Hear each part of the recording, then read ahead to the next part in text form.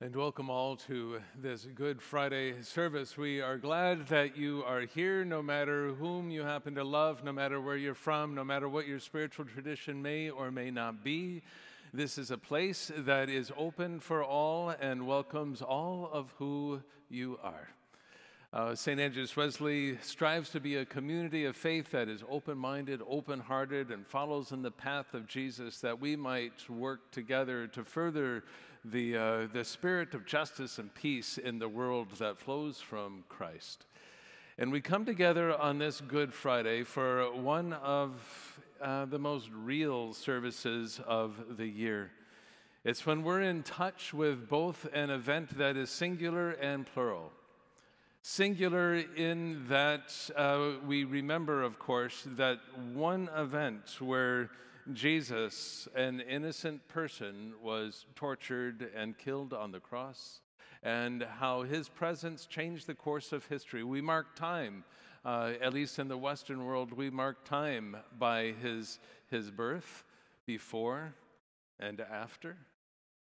And we also come together on this day to recognize how Good Friday is not only singular but also plural, because unfortunately there is innocence that is uh, violently killed, extinguished, uh, violated uh, around the world every day.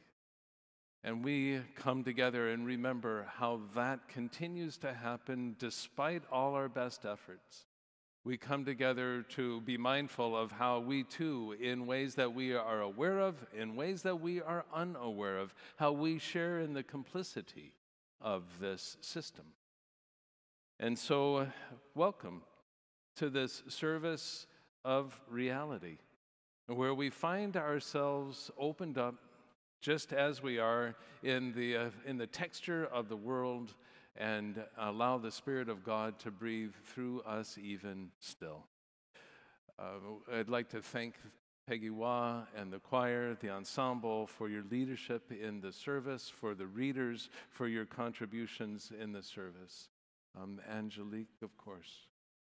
And uh, we remember every time we gather that we do so on the unceded and the tr- traditional territories of the Squamish, Musqueam, and Tsleil-Waututh people. And even as we remember that, that is one of the ways in which we are taking account of our complicity of injustices that have happened in the past and carry on into today. And so, embraced by the Spirit of God's mercy, which fortunately is deeper and broader than all of our injustices, welcome as we move into the service. Let's take a breath and simply allow the sacredness of this place to fall into you as we allow ourselves to be gathered in the Spirit of Christ, in tune with the beauty of the world and the harsh realities of the world, in tune with the Spirit of Christ that breathes through each one of us. In your embrace, O God, we open ourselves to you now. Amen. And as you're able, I invite you to rise as we sing our opening hymn, O come and mourn with me a while.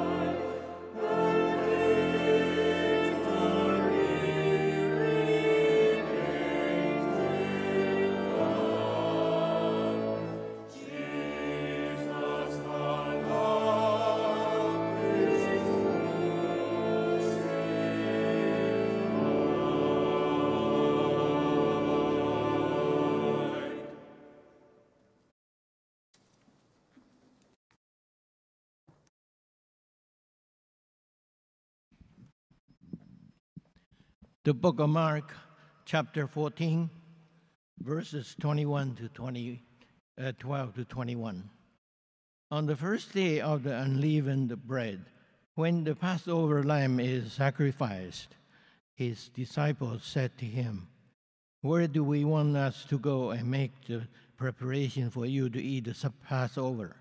So he sent two of his disciples, saying to them, Go into the city, and a man carrying a jar of water will meet you. Follow him, and whenever he enters, say to the owner of the house, The teacher asks, Where is my guest room, where I may eat the Passover with my disciples? He will show you a guest room upstairs, furnished and ready. Make preparation for us there. So the disciples set out to and went to the city and found everything as he had told them. And they prepared the Passover meal.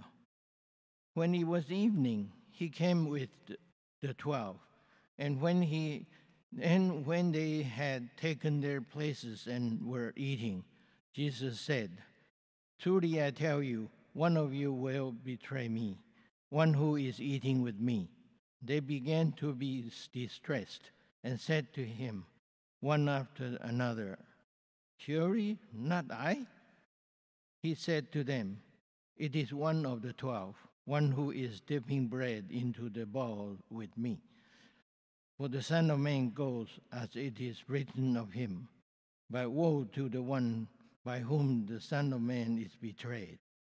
It would have been better for that one not to have been born.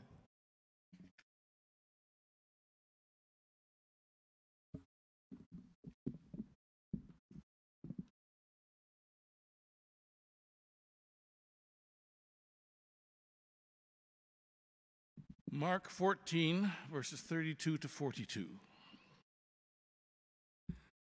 They went to a place called Gethsemane, and he said to his disciples, Sit here while I pray.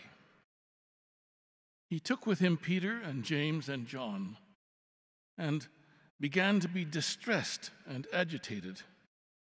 And he said to them, I am deeply grieved, even to death. Remain here and keep awake. And going a little farther, he threw himself on the ground and prayed that if it were possible, the hour might pass from him. He said, Abba, Father, for you all things are possible. Remove this cup from me. Yet, not what I want, but what you want. He came and found them sleeping, and he said to Peter, Simon, are you asleep? Could you not keep awake one hour? Keep awake and pray that you may not come into a time of trial. The spirit indeed is willing, but the flesh is weak. Again he went away and prayed, saying again the same words. And once more he came and found them sleeping, for their eyes were heavy and they did not know what to say to him. He came a third time and said to them, Are you still sleeping and taking your rest? Enough! The hour has come. The Son of Man is betrayed into the hands of sinners. Get up, let us be going. See, my betrayer is at hand.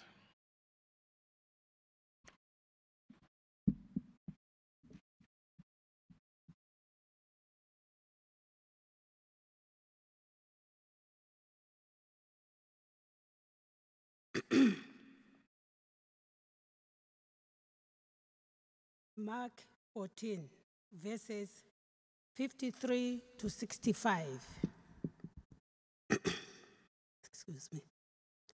They took Jesus to the high priest, and all the chief priests, the elders, and the scribes were assembled. Peter had followed him at a distance, right into the courtyard of the high priest. And he was sitting with guards, warming himself at the fire. Now the chief priests and the whole council were looking for testimony against Jesus to put him to death. But they found none. For many gave false testimony against him, and their testimony did not agree. Some stood up and gave false testimony against him, saying, We heard him say, I'll destroy this temple that is made with hands, and in three days I will build another, not made with hands. But even on this point, their testimony did not agree. Then the high priest stood up before them and asked Jesus, Have you no answer? What is it that they are testing? Sorry. What is it that they testify against you? But he was silent and did not answer. Again, the high priest asked him, Are you the Messiah, the Son of the Blessed One? Jesus said, I am. And you see the Son of Man seated at the right hand of the power and coming with the clouds of heaven. Then the high priest tore his clothes and said, Why do you why do we still need witnesses? You have heard his blasphemy. What is your decision? All of them condemned him as deserving death. Some began to spit on him to blindfold him and strike him, saying to him, Profess. The guards also took him over and beat him.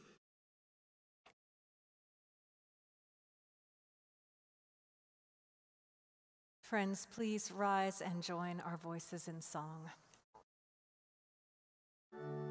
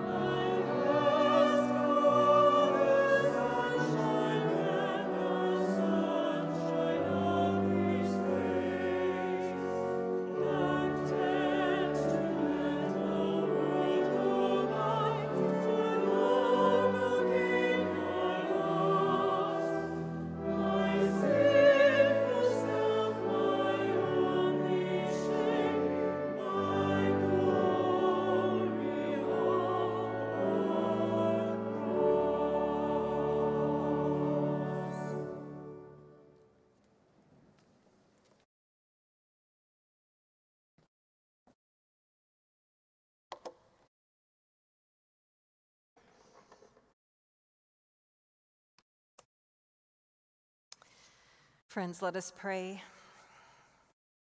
As we journey towards the cross today, it is so easy to turn away. But may we together bear the suffering of the world so that hope may spring forth again. Amen. There are a lot of lines and imagery in Good Friday scripture, but the one that always gets me is this one My God, my God, why have you forsaken me? Jesus utters this in his final moments, and I find it always jars me. It makes me wonder if you've ever hit rock bottom. I don't mean if you've had troubles or disappointments in your life, we've, we've all had those. I mean, have you ever gotten to a place where you are completely out of options? where you can't go any further in any direction, where pain is the only reality, where there is nowhere but right here. Sometimes rock bottom happens because of choices that we've made, but more often than not, it's likely that it's just been sprung on us and that what stares us in the face is the limitation of our own power and control over our own life. If you have faced addiction and been in recovery, you may know what this particular landscape looks like. Or if you've been trapped in the grip of mental illness, then you know a little bit what Jesus might have meant when he cried out. And if you've lost a child, then you know intimately every crack and every crevice of what rock bottom looks like.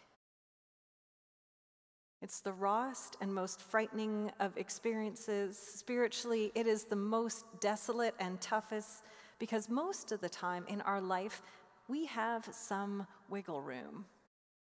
We can escape we can distract ourselves. We can find another route. It's rarely this stark, but when it does happen, when all options are gone, when the stretches between us are just uncertainty and pain, then what?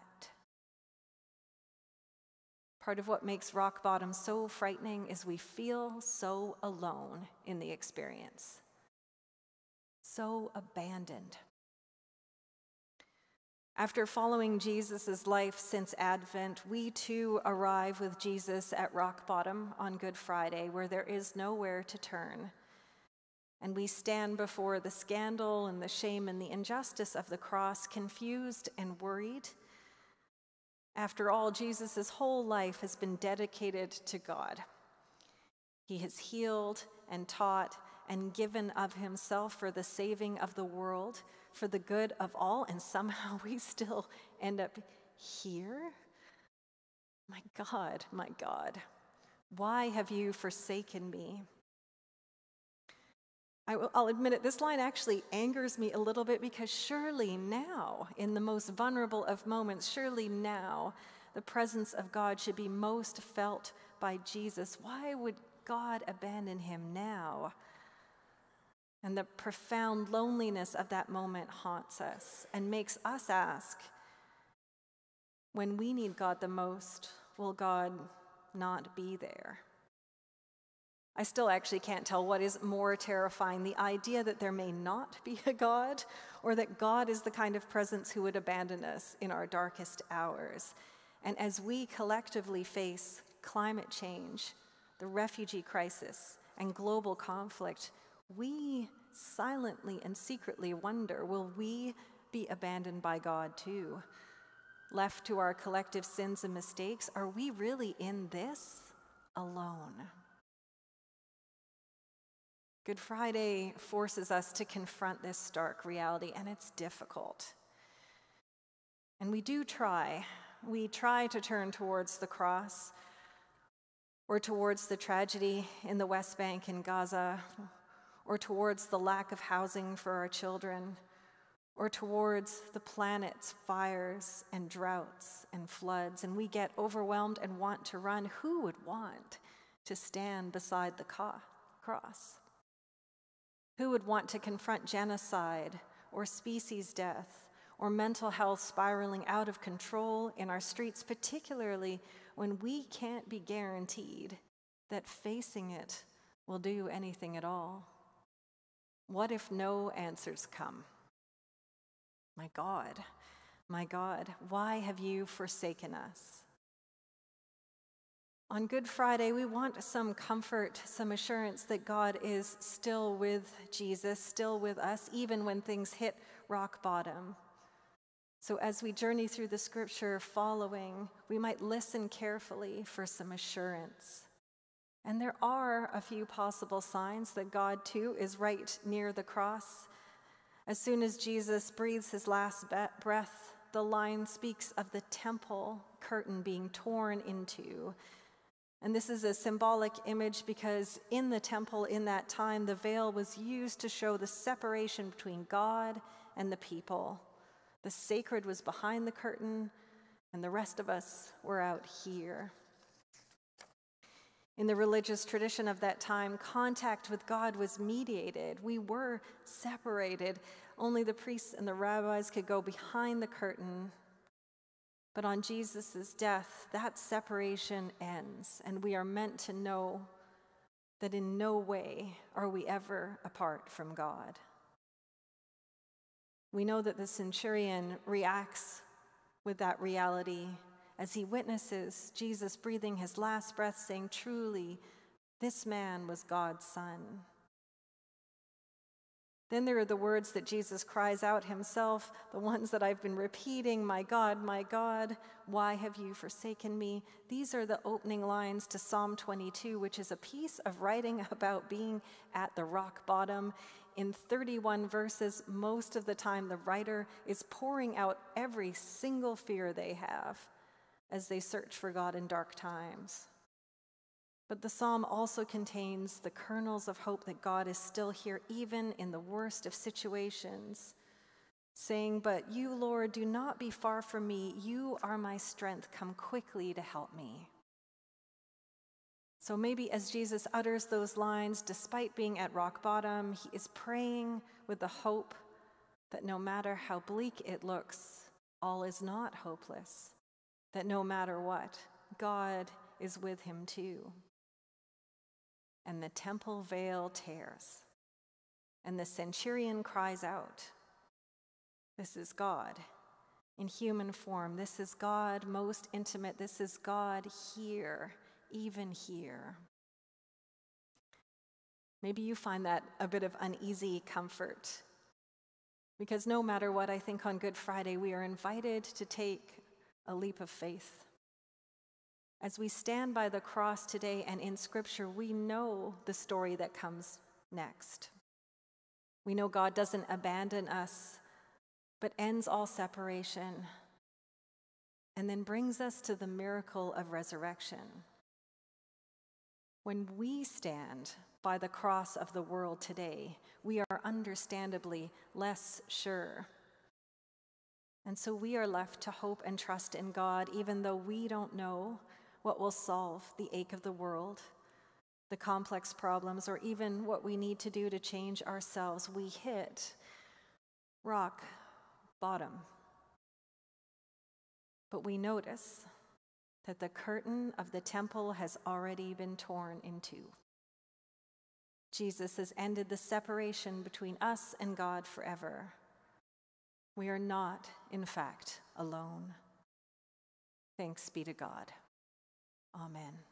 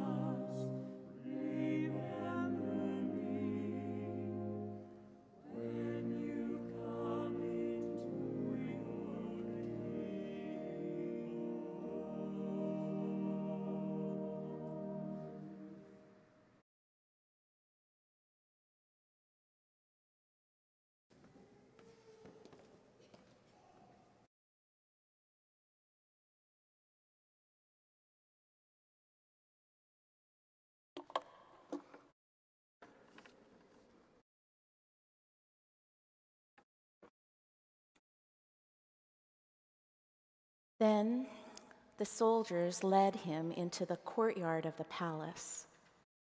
That is the governor's headquarters. And they called together the whole cohort.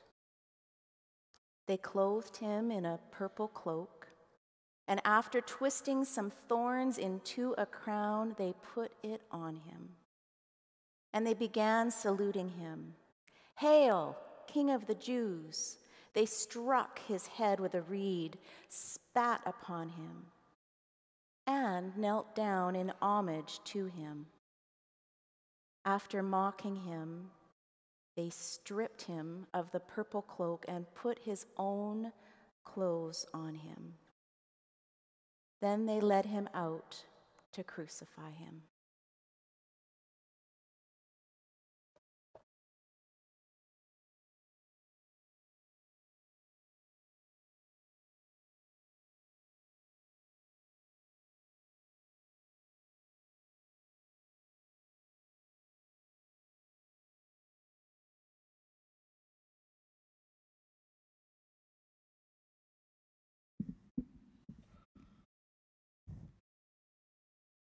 They compelled a passerby who was coming in from the country to carry his cross. It was Simon of Cyrene, the father of Alexander and Rufus. Then they brought Jesus to the place called Golgotha, which means the place of a skull. And they offered him wine mixed with myrrh, but he did not take it. And they crucified him and divided his clothes among them, casting lots to decide what each should take. It was nine o'clock in the morning when they crucified him. The inscription of the charge against him read, The King of the Jews. And with him they crucified two bandits, one on his right and one on his left. Those who passed by derided him, shaking their heads and saying, Aha, you who would destroy the temple and build it in three days, save yourself and come down from the cross. In the same way, the chief priests, along with the scribes, were also mocking him among themselves and saying, He saved others. Let him save himself. Let the Messiah the King of Israel, come down from the cross now, so that we may see and believe. And those who were crucified with him also taunted him.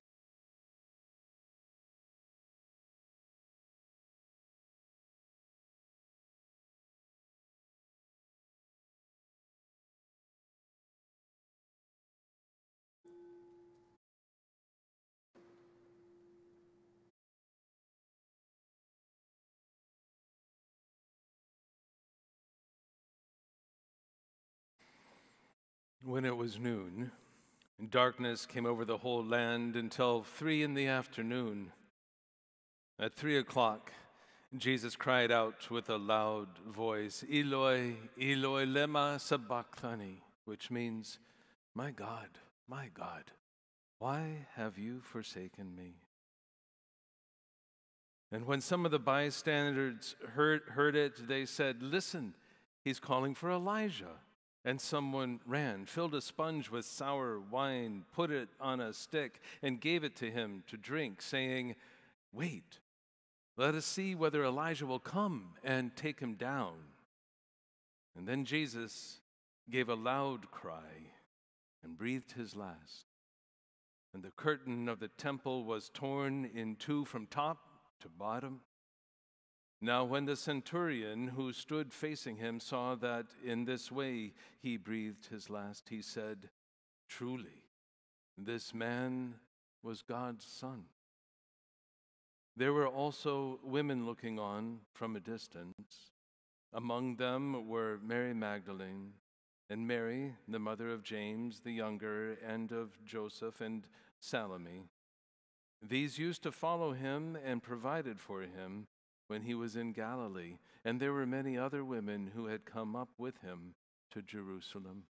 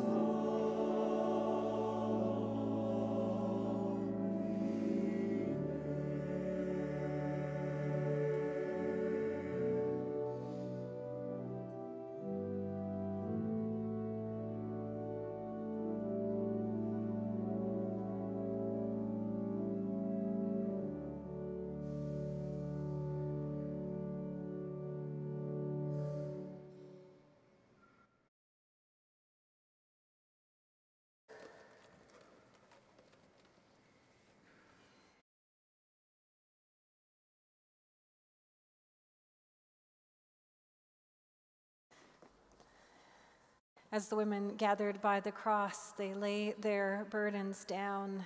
They sat with the body of Jesus. We're inviting you now to a ritual where you will take that little piece of paper that was offered to you when you first came in to write down something you are grieving for, a place where you need prayer, and to come up and to tuck that into the cross. If you don't have paper, not to worry. Our ushers, Robert and Nick, have some. And they will guide you in terms of which rows can go. This is a beautiful opportunity to just be with.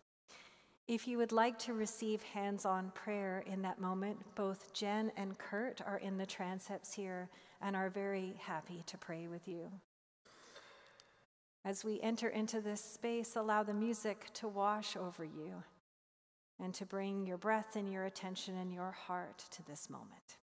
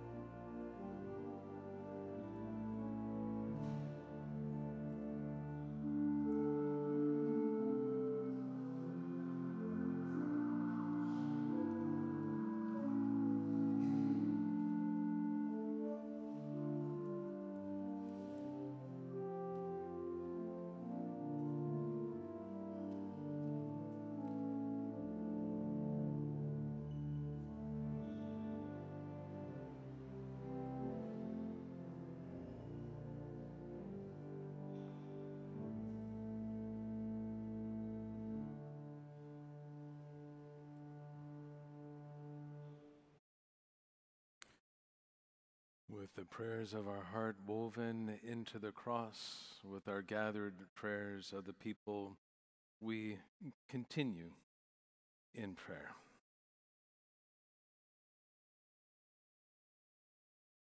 Holy One, we turn now to you, you who hold in your heart all our grief, all our suffering. This Friday, the good seems so far away. Even still, with spring blooming around us, we pause and turn to you as we gather around the shadow of the cross, the symbol of innocent suffering in the world. This is not where we would choose to be, O God. Brought face to face with a symbol of death and instrument of torture. Forgive us when we turn our backs and try to avoid the suffering of another or our own. Help us realize once again that this is also where we find you, sometimes most powerfully and truthfully when we are broken open by the pain of the world. Help us in the gritty reality of life, in the disappointments and the hardness of rock bottom to reach out to you, open to you. Trust that despite the silence, you are still there. You know the ways of the world, O God. You have been here, you are here. With us you have loved and cried, lived and died. With us you offer comfort, even still you forgive us. Breathe peace upon us you free us. For this we give thanks. This we call good.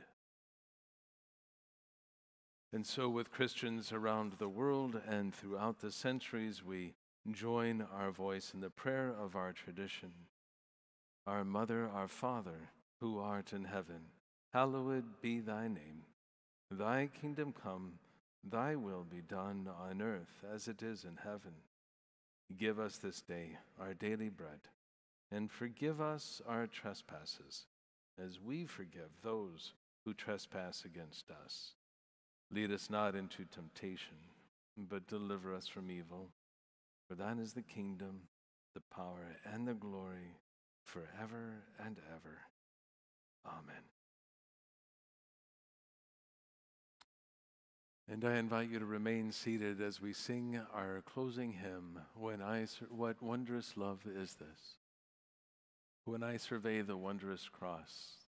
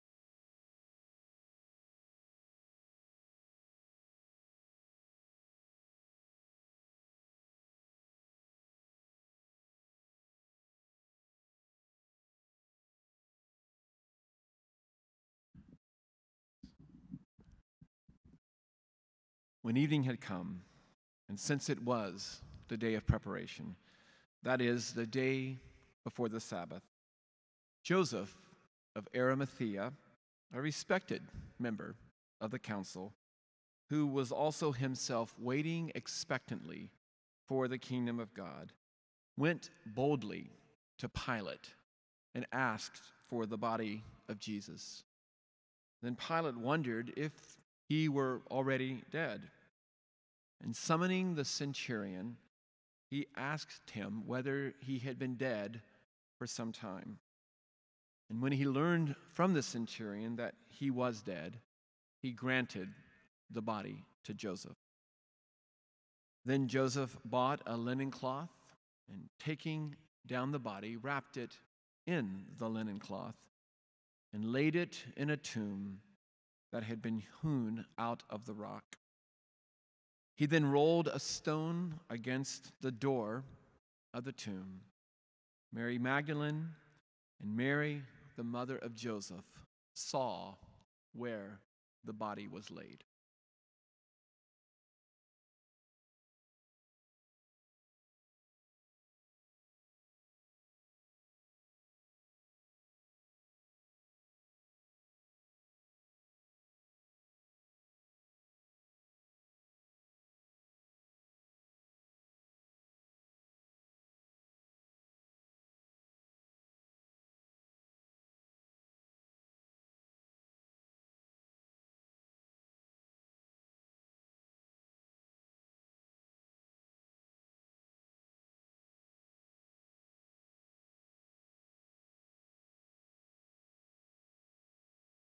Today you're invited to stay as long as you would like in prayer, reflection, and you're also, when the time is right, invited to leave in silence.